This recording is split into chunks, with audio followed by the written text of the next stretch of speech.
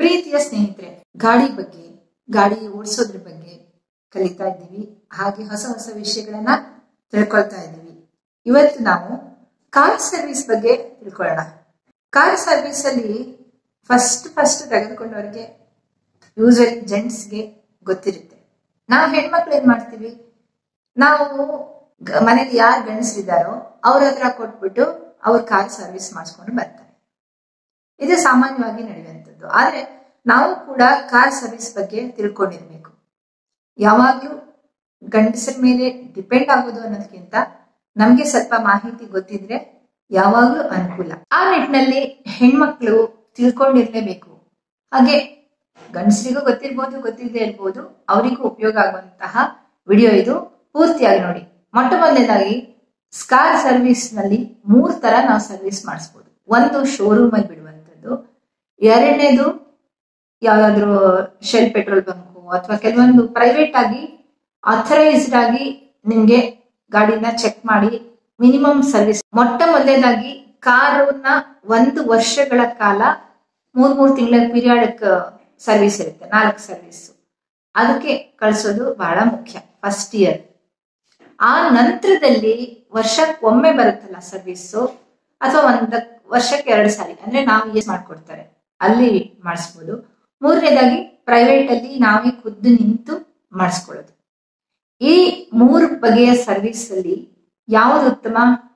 ಇದಕ್ಕೆ ನಂದೇ ಒಂದು ಉದಾಹರಣೆ ಕೊಟ್ಟು ನಿಮ್ಗೆ ಎಕ್ಸ್ಪ್ಲೇನ್ ಮಾಡ್ತಿದ್ದೀನಿ. ಸಾರಿ, ಎಷ್ಟು ಕಮ್ಯೂಟ್ ಮಾಡ್ತೀವಿ, ಎಷ್ಟು ದೂರ ಓಡಿಸಿರ್ತೀವಿ, ಅದ್ರ ಮೇಲೆ ಡಿಪೆಂಡ್ ಆಗುತ್ತೆ. ಆದ್ರಿಂದ ನಾವು ಸರ್ವಿಸ್ ಕೊಡುವಾಗ ಎಲ್ಲಿ ಕೊಡ್ತೀವಿ ಅನ್ನೋದಕ್ಕಿಂತ ನಾವು ಎಷ್ಟು ಎಚ್ಚರವಾಗಿರ್ತೀವಿ ಅನ್ನೋದು ಬಹಳ ಮುಖ್ಯ. ಇದನ್ನ ನೆನ್ಪಿಟ್ಕೋಬೇಕು. ಯಾಕೆಂದ್ರೆ ಶೋರೂಮ್ ಅಲ್ಲಿ ಕೊಟ್ಟಾಗ ಆಥರೈಸ್ ಸರ್ವಿಸ್ ಸೆಂಟರ್ ಕೊಟ್ಟಾಗ ಏನಾಗ್ತು ಅಂದ್ರೆ ಅವರು ಎ ಸಿ ಫಿಲ್ಟರ್ನೇ ತೆಗ್ದ್ಬಿಟ್ಟಿದ್ರು. ಆಮೇಲೆ ಈ ಡೋರ್ ಲಾಕ್ ಇರುತ್ತಲ್ಲ, ಡೋರ್ ಲಾಕ್ ಅದು ಒಂದು ಕ್ಲೋಸ್ ಲಾಕ್ ಇದು ಬರುತ್ತೆ. ಅಂದ್ರೆ ಸಡನ್ ಆಗಿ ಕೀ ಹಾಕಿ ಡೋರ್ನ ಓಪನ್ ಮಾಡಿ ಕಾರ್ ಥೆಫ್ಟ್ ಮಾಡಕ್ ಆಗ್ಬಾರ್ದು. ಆ ನಿಮ್ಗೆ ಗೊತ್ತಿರುತ್ತೆ ಬ್ಲ್ಯಾಕ್ ಲೈನ್ ಇರುತ್ತೆ. ಅದನ್ನ ಕಿತ್ತಾಕ್ಬಿಟ್ಟಿದ್ರು ಸೊ ಈ ತರ ಚಿಕ್ಕ ಚಿಕ್ಕದು ಅವರೇ ಮಾಡ್ಬಿಟ್ಟು ಅವರೇ ನಮ್ಗೆ ಕೊಡ್ಲಿ ಅನ್ನೋ ತರ. ಆ ತರ ಏನೋ ಗಿಮಿಕ್ ಅದು. ಅದು ನನಗೆ ಅರ್ಥ ಆಯ್ತು. ಸೊ ಅಲ್ಲಿಂದ ಏನ್ ಮಾಡಿದೆ. ಮತ್ತೆ ಶೋರೂಮ್ ಅಲ್ಲಿ ಆಥರೈಸ್ಡ್ ಆಗಿರೋದೆಲ್ಲ ಕೊಡ್ತೀನಿ ಅಂತ ಹೇಳ್ಬಿಟ್ಟು ಎ ಮೋರ್ ಪ್ರೈಸ್ ಉದಾಹರಣೆಗೆ, ಎರಡೂವರೆ ಸಾವಿರದಲ್ಲಿ ಆಗುವಂತಹ ಸರ್ವಿಸ್ ನಿಮ್ ಶೋರೂಮ್ ಅಲ್ಲಿ ನಾಲ್ಕೂವರೆ, ಐದು ಸಾವಿರ ಆಗುತ್ತೆ.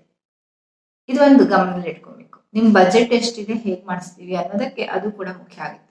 ಆಫ್ಟರ್ ಒನ್ ಇಯರ್ ಇದು ಒಂದನೇದು ಎರಡನೇದು ನೀವು ಶೆಲ್ಲು ಅಥವಾ ಯಾವ್ದಾದ್ರು ಪೆಟ್ರೋಲ್ ಬಂಕ್ ಅಲ್ಲಿ ಕೆಲವೊಂದು ಇಟ್ಕೊಂಡಿದ್ದಾರೆ.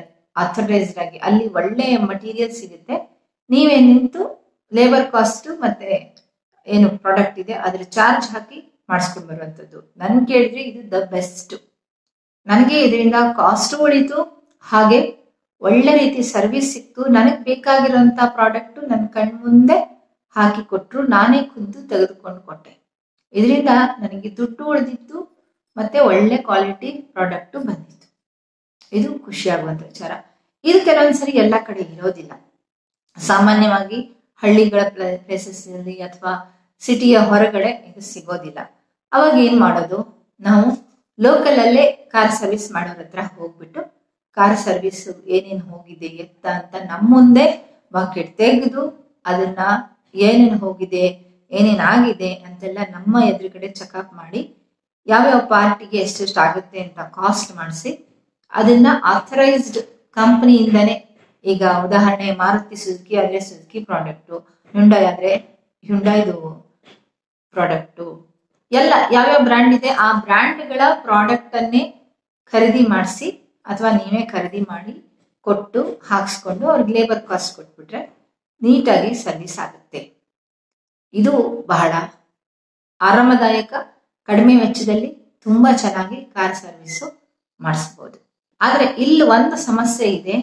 ಯಾವಾಗ ನಮ್ದು ಕಾರ್ ಒಂದ್ ವೇಳೆ ಆಕ್ಸಿಡೆಂಟ್ ಆಯ್ತು ಅಥವಾ ಏನು ವಿಮೆ ಇದೆ, ಕಾರ್ ವಿಮೆ ಪಾಲಿಸಿ ಇದೆ, ಅದನ್ನ ಕ್ಲೇಮ್ ಮಾಡುವಂತದಿದ್ರೆ ನಮ್ಗೆ ಅಲ್ಲಿ ಸರ್ವಿಸ್ಗೆ ಯಾವ್ದಕ್ ಹೋಗಿತ್ತು ಶೋರೂಮ್ ಹೋಗಿತ್ತಾ ಆಥರೈಸ್ಡ್ ಮಟೀರಿಯಲ್ ಹಾಕಿದಾರ? ಅದೆಲ್ಲ ಚೆಕಪ್ ಆಗುವಂತದ್ದು ಹಜಲ್ ಫ್ರೀ ಆಗಿ ನಮಗೆ ಬರೋದು ಸ್ವಲ್ಪ ಕಷ್ಟ ಆಗುತ್ತೆ. ಅದನ್ನ ನಾವು ನೋಡ್ಕೊಂಡು ಮಾಡ್ಬೇಕಾಗುತ್ತೆ.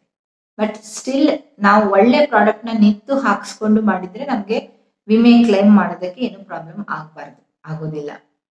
ಬಟ್ ನಾವು ಸರ್ವಿಸ್ ಕೊಟ್ಟಿದ್ದೀವಿ, ಅವ್ರು ಹೆಂಗೋ ಮಾಡಿ ತಂದು ಹಾಕಿದ್ದಾರೆ ನಂಗೆ ತುಂಬಾ ನಂಬಿಕೆ ಇದೆ, ನಾ ತುಂಬಾ ವರ್ಷಗಳಿಂದ ಅವ್ರನ್ನ ನಂಬಿ ಹಾಕ್ಸ್ತಿದ್ದೀನಿ ಅಂತ ಯಾವತ್ತೂ ಅಂದ್ಕೊಂಡು, ಕಣ್ಣು ಮುಚ್ಕೊಂಡು ಕೊಡ್ಬೇಡಿ. ಯಾವುದೇ ಕಾರಣಕ್ಕೂ. ಯಾಕೆಂದ್ರೆ ಅವರು ಬಿಸ್ನೆಸ್ ನಿಂತಿರ್ತಾರೆ, ಅದರಲ್ಲಿ ಸಣ್ಣ ಪುಟ್ಟ ಮೋಸದ ವ್ಯವಹಾರ ಮಾಡಿದ್ರೆ ಅವ್ರಿಗೆ ಇಟ್ಟೋದಿಲ್ಲ. ಹಾಗಾಗಿ ಉದಾಹರಣೆಗೆ ನಾನು ಹೋದ ವರ್ಷ ಒಂದು ಕಡೆ ಸರ್ವಿಸ್ ಕೊಟ್ಟಿದ್ದೆ. ಆಥರೈಸ್ ಶೋರೂಮ್ನಲ್ಲಿ ಈ ತರ ಆದ್ರೆ ನಾನು ಈ ತರ ಇದೆ ಕಣ್ಣು ಮುಚ್ಕೊಂಡು ಕೊಡೋದು ಅಂತಾರಲ್ಲ, ಆ ತರ ಕಣ್ಣು ಮುಚ್ಕೊಂಡು ಕೊಟ್ಟಲ್ಲಿ ಏನ್ ಮಾಡಿದ್ರು?